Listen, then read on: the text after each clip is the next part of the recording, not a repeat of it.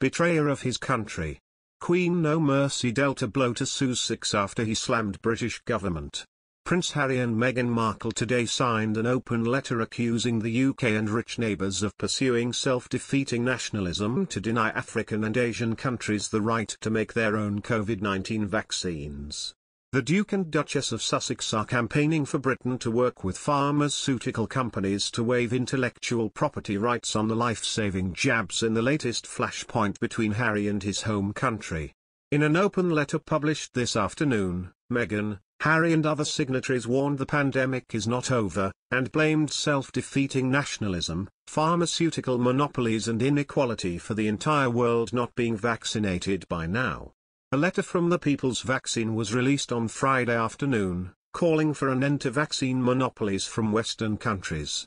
Harry and Meghan, alongside more than 130 former world leaders, Nobel laureates, scientists and others, signed the open letter calling for urgent action to vaccinate low and middle-income countries and bring an end to the COVID-19 pandemic. The letter criticizes the EU, UK, Germany and Switzerland for continuing to block the lifting of intellectual property rules which would enable the redistribution and scale-up of COVID-19 vaccine, test and treatment manufacturing in the Global South.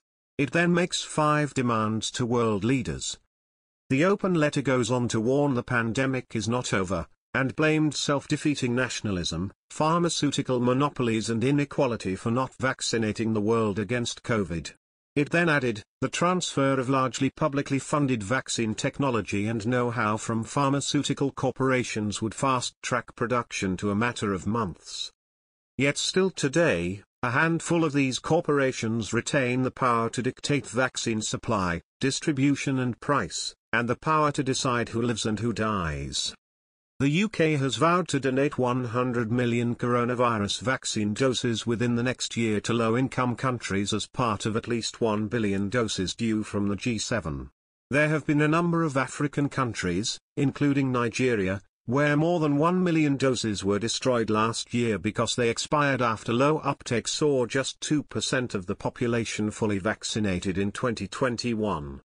In December experts said up to one-third of Africa's COVID vaccine deliveries remain in storage as rollouts are hindered by jab hesitancy and infrastructure problems. The Sussexes have repeatedly called for global vaccine equity, comparing it to the HIV crisis in 1980s and 1990s, and today their Archewell Foundation joined the People's Vaccine Coalition, a group of 90 famous names and organizations demanding vaccines are freely available to everyone, everywhere.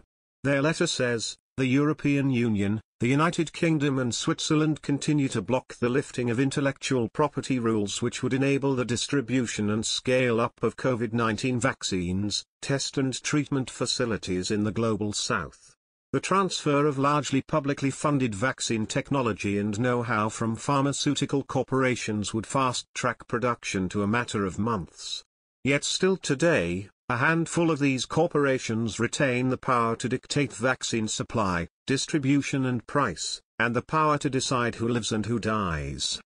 Despite their stance, Critics pointed out that recently the ethical Wall Street investment company backed by the Duke and Duchess of Sussex ploughed millions into pharmaceutical companies that develop COVID-19 jabs, despite their calls for vaccine makers to share their research and recipes. And last year they announced a partnership with Procter & Gamble, the US Pharma and Consumer Goods Corporation. The couple's attack on the British government, the EU and Switzerland came a fortnight after Harry took the Home Office to the High Court over taxpayer-funded police protection when he and his family is in the UK. Lawyers for the Duke said he now did not feel safe to visit Britain, or to bring his family from their home in the US. The Duke has also taken aim at his own British family since he and Meghan emigrated after quitting as senior working royals in early 2020. They live in a £11 million Montecito mansion in California.